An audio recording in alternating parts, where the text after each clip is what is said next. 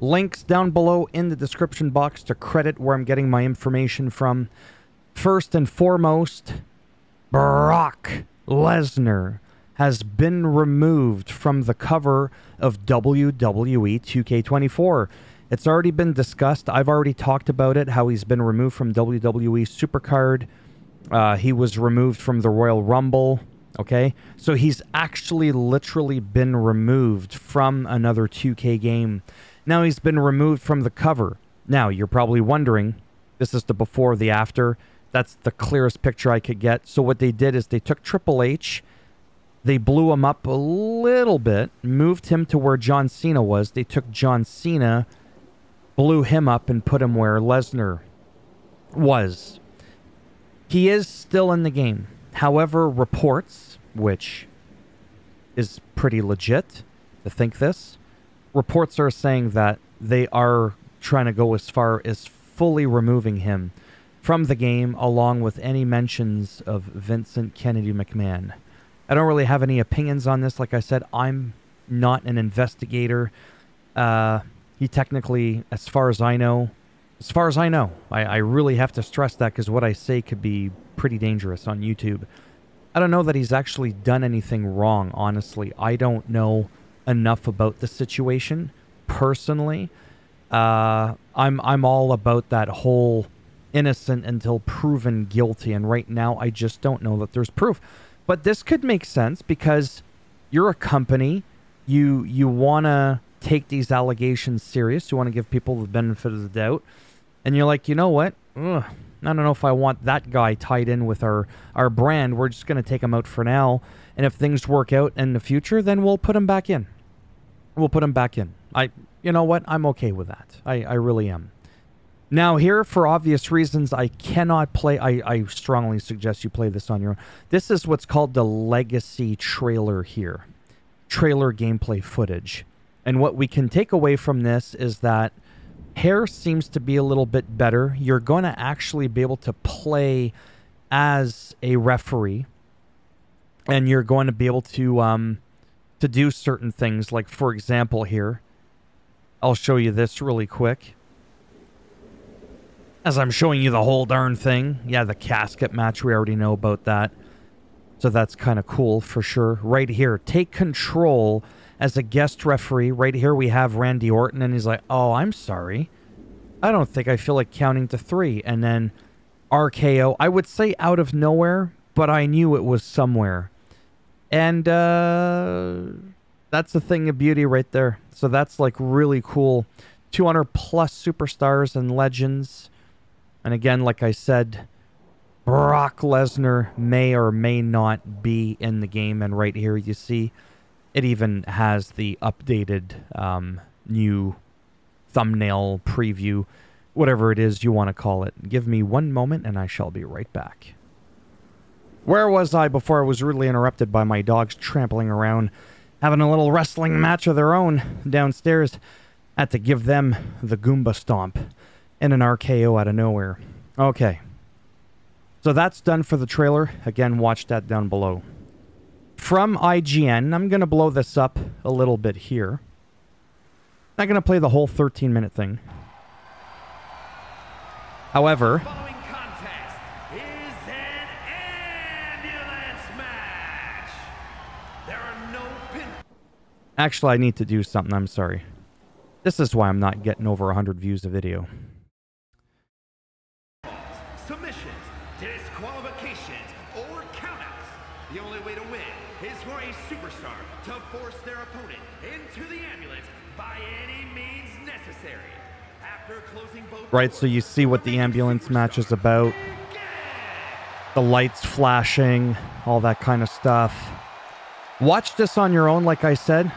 I haven't seen this.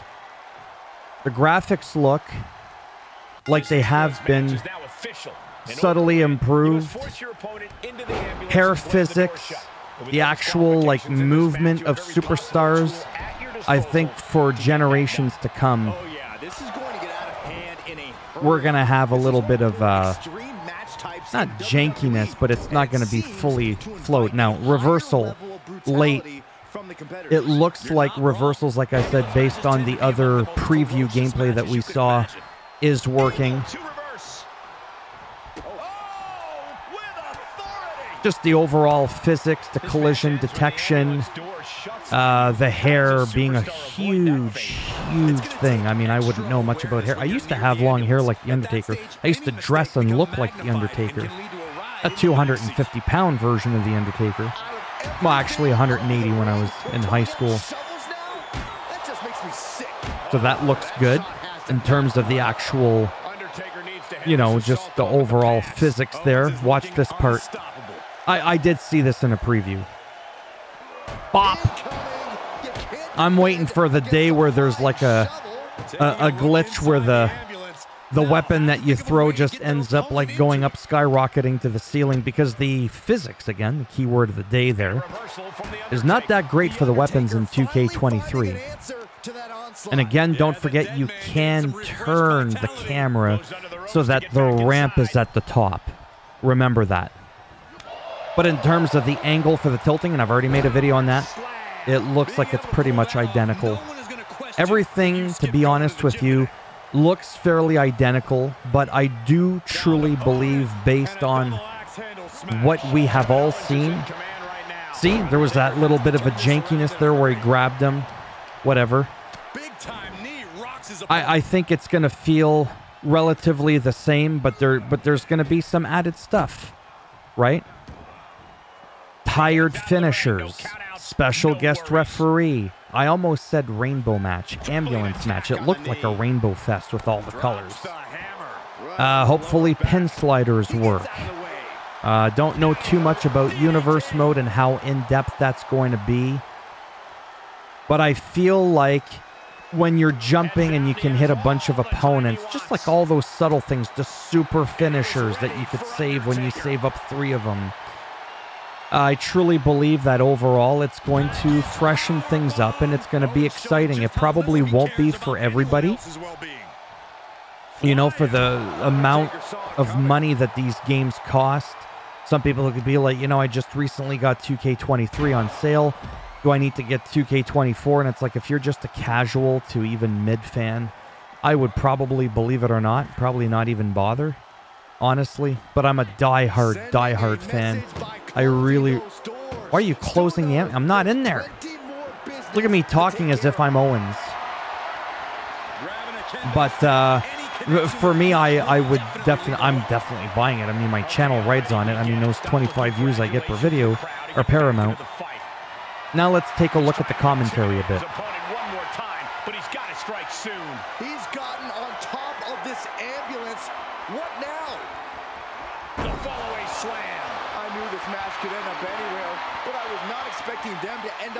Of an ambulance. Oh my God, no.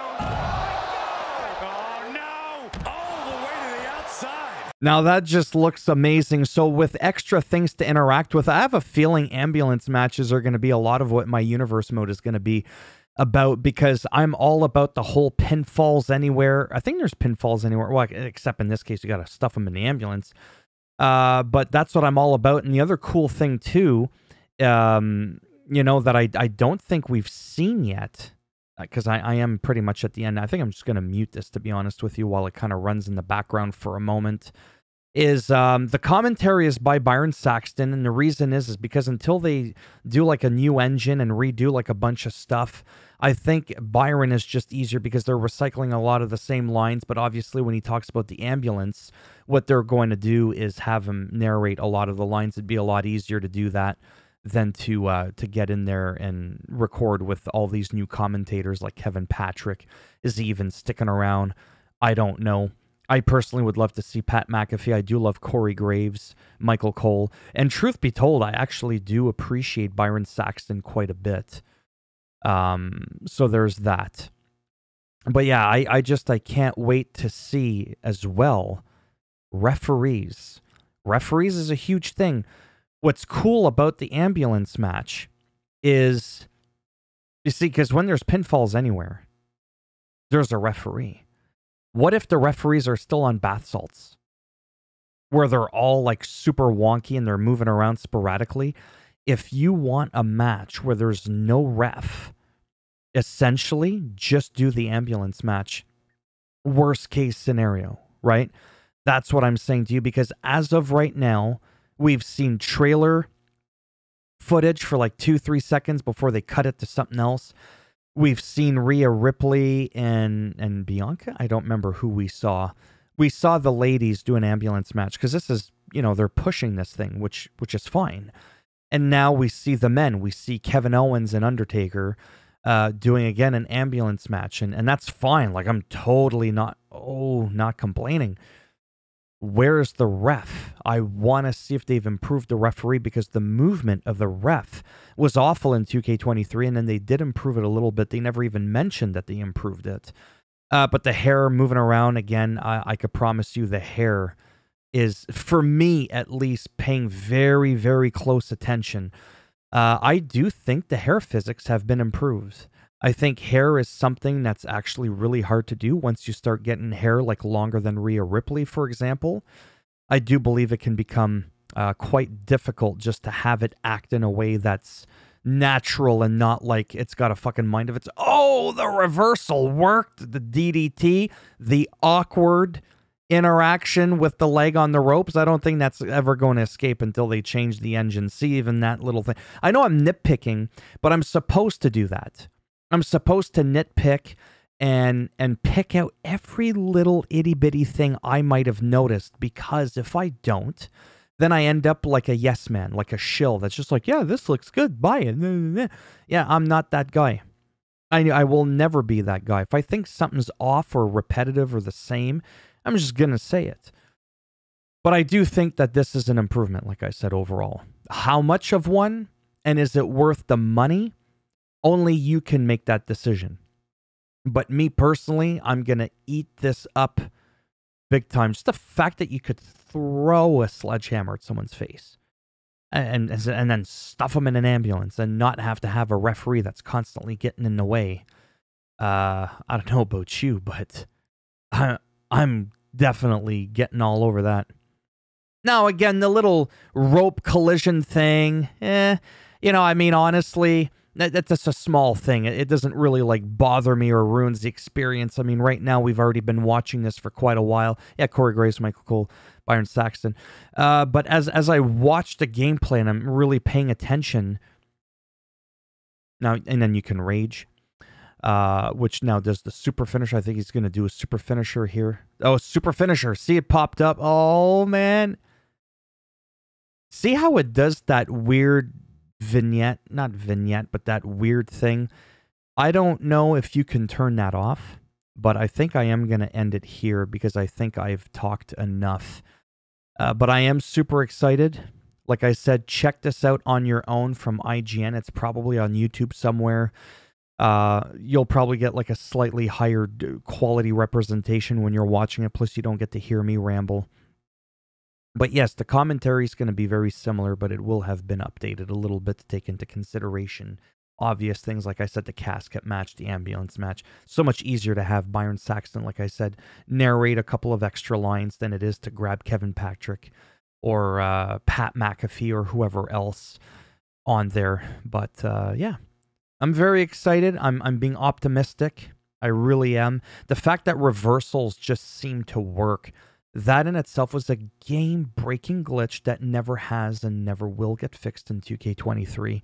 The fact that they didn't, though, is what's always going to scare me about 2K24 is what if we discover another game breaking glitch like that and it doesn't get rectified? Sliders never ended up working without the workaround. Reversals never worked, no matter what you did, no matter what slider settings you had, they just did not work. There's a lot of little things like that that added up. The rival system completely 100% fucking broken, right? And they never fixed practically any of them. So, what is this game just going to magically this year? This is the one and done where there's absolutely no glitches. And if there are, just all of a sudden now they're going to decide to work on them. Why would this year be any different? I'm just saying that's my legitimate statement as to why it's legit to be concerned still, despite the fact that we're seeing some good footage here. As always, if I get more information, and it, it seems like a good time to talk about it, I will definitely make another video. Okay? So, thumbs up if you did like it. It does greatly help support the channel with the algorithm. Thumbs down as always if you didn't like it. And uh, I'll bend it in half, twist it, break it off in your ass. And Andre the Giant thumb in your ass. And then Hogan's going to leg drop your waist because, you know, that's near your ass. And then, and then you'll get, uh, no, that's enough of that. If you Want to subscribe? Great. If not, whatever. Thanks for stopping by, anyways. Take care, and maybe I'll see some of you in the next one. Bye for now.